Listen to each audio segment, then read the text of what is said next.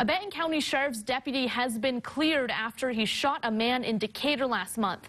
Prosecuting attorney Nathan Smith says Corporal Matt Nading was justified in the shooting. In March, deputies were trying to find this man on your screen, Heston Murworth, in connection to a protection order violation. Murworth had a gun when deputies arrived.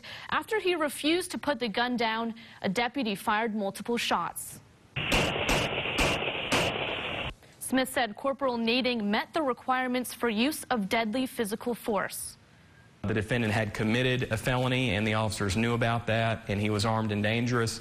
He also, by pointing his gun at Corporal Nading, clearly uh, put Corporal Nading at risk uh, of death. And so Corporal Nading uh, was authorized to use deadly physical force by shooting him.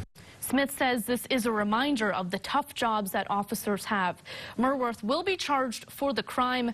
Those charges will be determined before a court date later this month.